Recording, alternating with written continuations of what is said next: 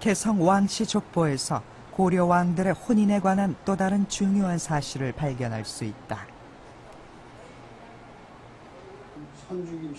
태조 왕건부터 팔대왕 현종까지 왕의 혼인은 특정 가문들과만 이루어졌다. 황주 황보 씨와 충주 유 씨. 이들 두 가문이 대표적이었다.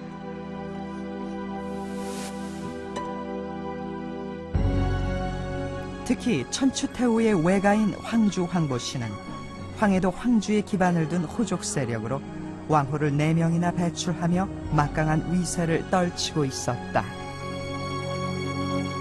어, 당시 그 고려 전국에서 어, 왕과 왕실을 어, 왕실에 갖는 아, 왕실의 그 정치 영향력을 고려할 때 반드시 에, 왕우족의 그 어, 위세를 반드시 그 고려를 해야 되는데 에, 그런 점에서 보면 황주 왕보 씨의 그 정치 영향력은 거의 절대적이었다.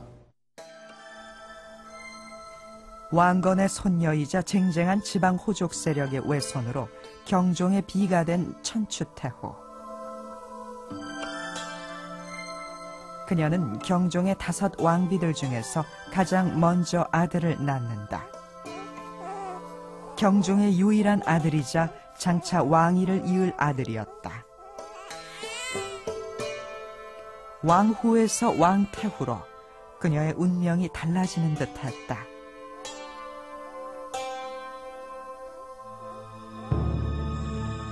그런데 예기치 않은 일이 찾아온다. 급작스러운 경종의 죽음. 천추태후가 아들을 낳은 지 불과 1년 만에 경종이 세상을 뜬 것이다. 당시 천추태후는 겨우 18살. 어린 나이에 남편을 잃은 천추태후의 충격은 컸다. 그러나 슬픔을 추스르기도 전에 천추태후는 또 다른 문제와 마주해야 했다. 누가 경종의 뒤를 이을 것인가? 경종의 후사가 마땅치 않은 상황에서 왕이 계승자를 정하는 것이 시급한 문제였다.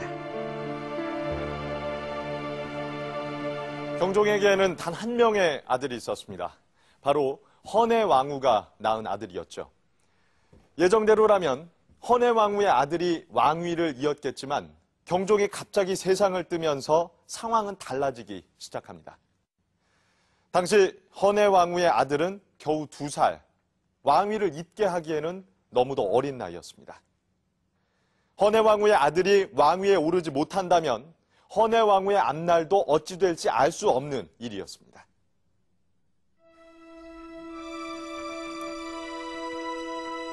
경종의 뒤를 이어 왕위에 오른 이는 성종, 바로 천추태후의 오빠였다. 성종이 즉위한 후 천추태후의 아들은 궁궐에 남아 성종의 손에서 자라게 된다.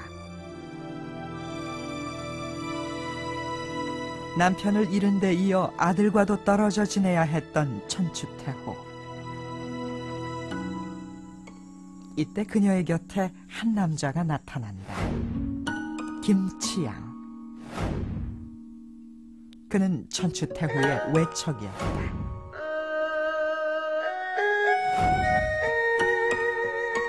승려였던 김치양은 천추태후가 머물던 천추궁에 출입하면서 천추태후와 정을 통하게 된다. 둘이 사통한다는 소문은 곧 성종의 귀에까지 들어갔다.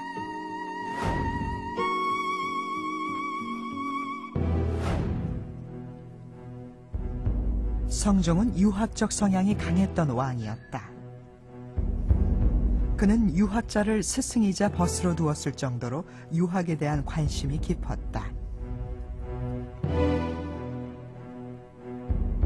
성종에게 여동생의 행동은 받아들일 수 없는 불륜한 것이었다. 성종은 결국 천추태후와 연문을 뿌린 김치양을 귀양 보낸다.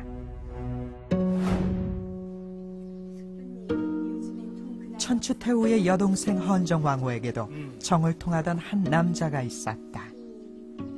바로 작은아버지 왕욱이었다. 헌정왕후는 급기야 왕욱의 아이까지 임신한다. 뒤늦게 이 사실을 안 성종은 왕욱 역시 경상도 사천으로 귀양 보낸다.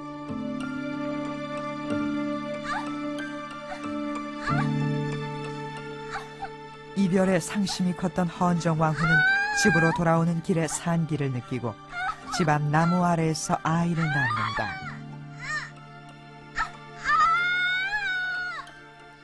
하지만 아이를 낳자마자 헌정왕후는 이내 세상을 뜨고 마는다.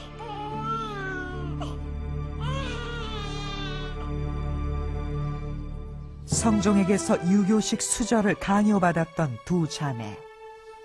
헌정 왕후는 결국 죽음을 맞았고 천추 태후는 간통한 불륜한 여자로 낙인 찍혔다.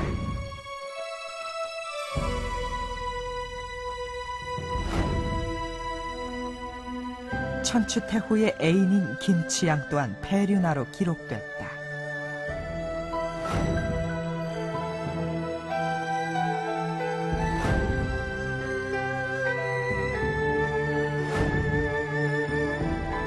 남편을 잃고 다른 남자와 정을 통했다는 이유로 불륜한 여자의 대명사가 된 천추태후. 그렇다면 당시 고려 사회에서 천추태후의 행동은 결코 용납될 수 없었던 것일까?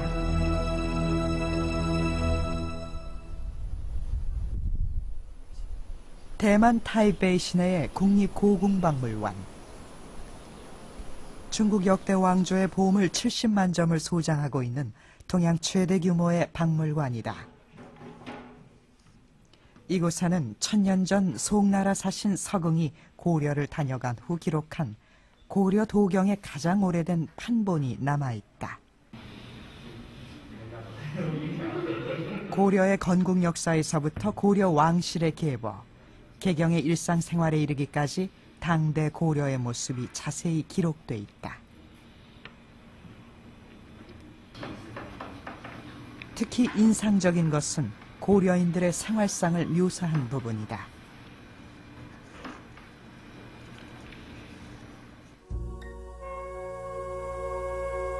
천년 전 송나라 사신이 크게 놀랐을 만큼 고려의 문화는 매우 자유롭고 개방적이었다. 서궁은 남녀가 시냇가에서 함께 목욕하는 것을 의아하게 여겼는데 고려 사람들은 이를 전혀 개의치 않았다고 전한다. 개방적인 성풍속은 고려시대 여성의 지위와 밀접한 관련이 있다.